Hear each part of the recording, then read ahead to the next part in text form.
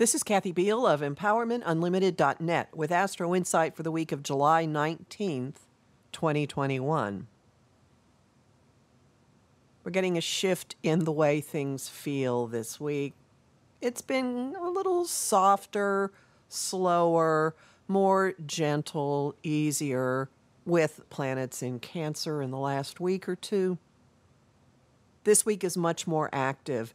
It's not the frenzy that we experienced in May and June, but it's definitely more active than what we've had since the Cancer new moon. And some of the activity might actually be a bit irritating to you because the general flow of the week has us periodically having to stop and adjust or readjust or tweak or empty our shoe out to find out what the piece of gravel is that's been bugging us that we can't just shake away. This is a month of adjustments, and easily a third of the adjustment aspects of the entire month happen this week. You may find yourself having to maneuver out of some fog or confusion or delusion. You may find yourself adjusting the way you're going about something because of a creative or intuitive insight that hits you. You might find yourself having to sidestep something kind of scary in the middle of the road or jumping up from under the bed at night. Definitely, we will have choices in how we express our power, whether we are assertive or aggressive. And sometimes the biggest display of power is recognizing that you have it and not crushing someone with it. There will probably be some tweaks in relationships likely dealing with something in a different way than you have before. One of those I have evolved moments, helped along by a flash of insight and epiphany, your mind opening to something, seeing things in a way you hadn't seen them before. Very probably a window opening to a conversation that clears the air about something oddly, I don't see much room for compromise in this because there are a number of influences encouraging us to blow ourselves up bigger and bigger and bigger and grander and not settle. That's kind of inconsistent with compromising.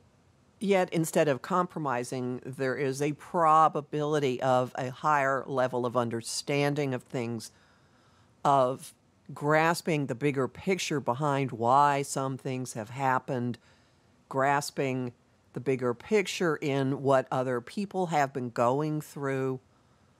Nice, beautiful streak of nonverbal communication, simply grokking situations, or perhaps giving our conscious minds over to a way of perceiving things, a way of understanding that is not logical, which could be really useful for one of the big confrontational aspects of the week, which could be really useful when issues of scary secrets, big monsters, hidden truths, a demand for candor, but maybe not being quite in the place for the words to come the concepts, the understanding, the energy may be there, but unlikely the actual conversations will be happening on the big, heavy, dark, scary stuff.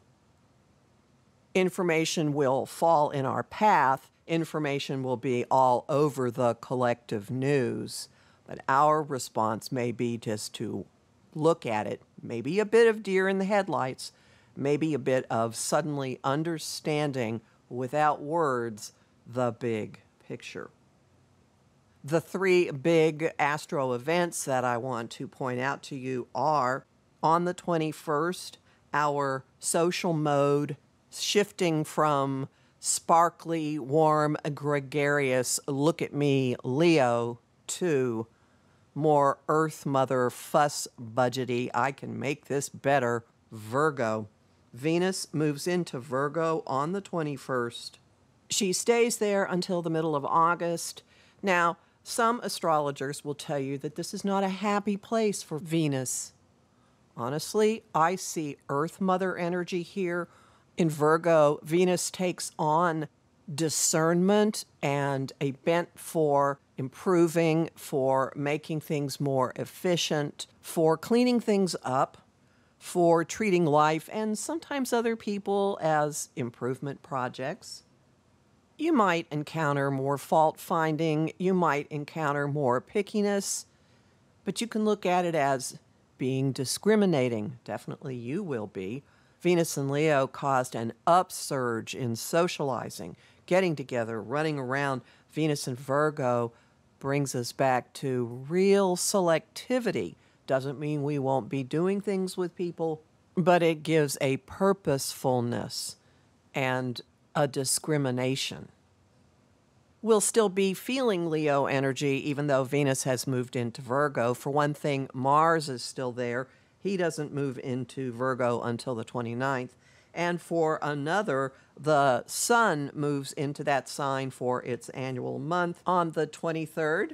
This happens just before we have a full moon in the friend zone, Aquarius, on the 23rd. Now, a full moon in an air sign is always a kind of interesting energy because you think of a moon as being emotional and a full moon causing emotions to crest, and a full moon in Aquarius, very intellectual, very objective, very detached, very friend focused. You might have an experience that's like sitting in the branch of the trees looking down at what everyone is doing around you. So there's a distancing, there's a detachment, there's an observation feeling to it. So you'll have a chance at the Aquarius full moon to see how your systems are doing, what your network of friends are doing, how supportive they are. And Venus at the beginning in Virgo is in one of those pebble in your shoe relationships with the sun and the moon. So there could be a niggling, niggling, niggling, deal with something, deal with something. Uh, I don't want to deal with this, deal with something, deal with something. That's involved in whatever the cresting of the full moon energies end up bringing in your life. So here are your big markers for the week against the backdrop of I'm going down the street. Oops, got to turn this way. Oops, got to change. Oops, got to do this. Oops, got to shake my shoe out. Oops, got to change this way.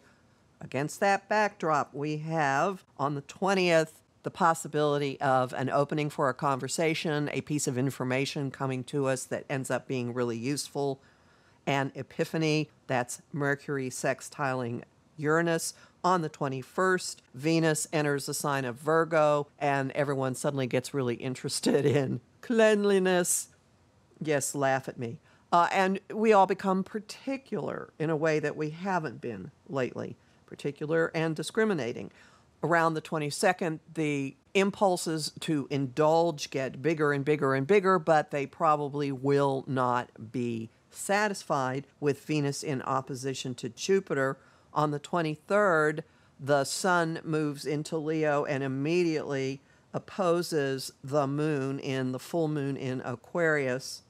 There is a big element of the potential of excess also in this one with the sun in an adjustment aspect to Jupiter.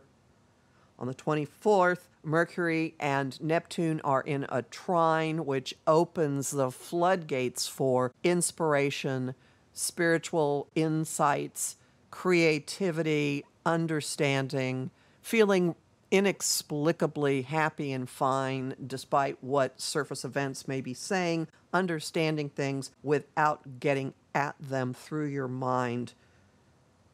On the 25th, Mercury then staring down Pluto, Mercury Pluto opposition, seeing something, probably not being able to resolve it.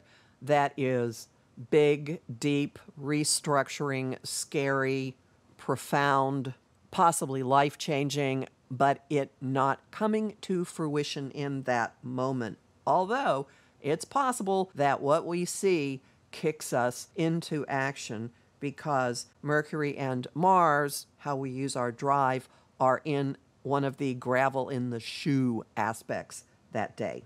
Good thing you rested up recently, right? Homing thought of the week. I'm not being picky, I'm being discriminating. Song of the Week, Chasing Pavements by Adele. And the image of the week is a group of friends going to the beach and picking garbage out of the sand. You'll learn more about all this in my forecast for the Aquarius full moon, which will be up at my site by the 22nd. And the address is empowermentunlimited.net, where you can sign up for my mailing list and book a session with me. I'm Kathy Biehl, a professional astrologer with more than 30 years' experience. Listen to Celestial Compass, my astrology program on Om Times Radio on the first and third Monday of every month at 5 p.m. Eastern, and that would be this week. I'm talking to Dr. Victoria Skirbo about the Kabbalah and astrology. I host lively conversation on Facebook at Empowerment Unlimited in the group The Astro Insight Lounge. I have lots of bonus content at patreon.com slash Kathy Biehl and I am really grateful to the people who support my work there. I post on Instagram at, at KABiehl and on YouTube at the Professional Aquarian channel. Talk to you next week.